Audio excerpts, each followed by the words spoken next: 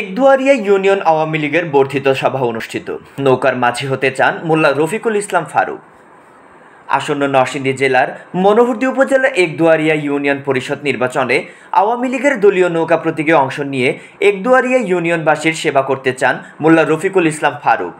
তিনি উপজেলা ছাত্রলীগের নব্বই দশকের অন্যতম ছাত্রনেতা। ছাত্রজীবন থেকেই আওয়ামী লীগের রাজনীতির সাথে ওতপ্রোতভাবে জড়িত।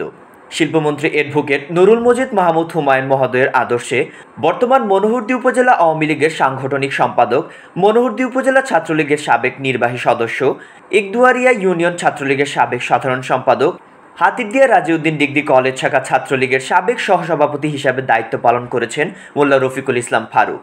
এছাড়াও দীর্ঘদিন ধরে আওয়ামী পরিবারের সাথে রাজনীতি করে আসছেন।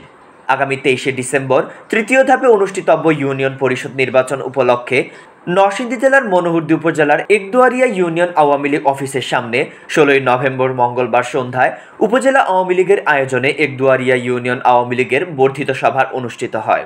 উক্ত বর্ধিত সভায় উপস্থিত ছিলেন উপজেলা আওয়ামী লীগের সভাপতি অ্যাডভোকেট ফজলুল হক।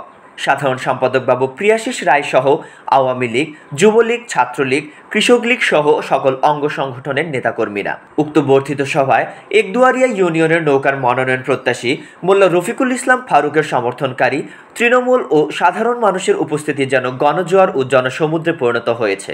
একদুয়ারিয়া ইউনিয়নের বিভিন্ন ওয়ার্ডের লোকজন মিছিলের মাধ্যমে বাংলাদেশ আওয়ামী লীগের নৌকার প্রার্থী ফারুকের সমর্থনে জমায়েত হয়।